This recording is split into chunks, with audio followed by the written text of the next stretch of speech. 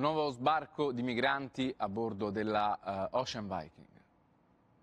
La Ocean Viking attracca con 93 migranti a bordo al porto di Carrara, esattamente 24 ore dopo l'arrivo alla Spezia, a meno di 30 km di distanza, della Geo Barents, che ne portava 237.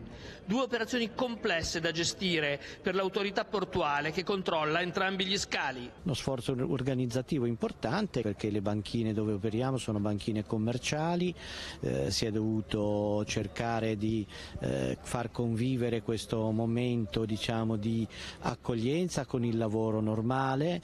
Lo sbarco dei passeggeri di Carrara inizia proprio mentre termina quello della Geo Barents.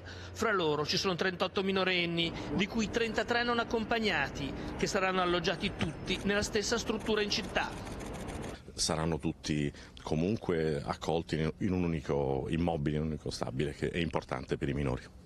Dopo i primi controlli a bordo, i migranti vengono portati alla fiera di Carrara per le visite mediche e l'identificazione prima di raggiungere le loro destinazioni.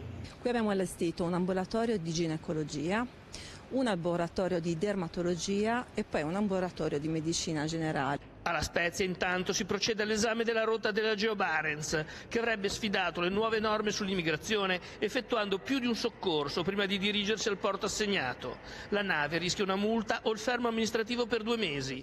Medici Senza Frontiere si difende. Non potevamo fare altrimenti, dovevamo aiutare le altre imbarcazioni in difficoltà.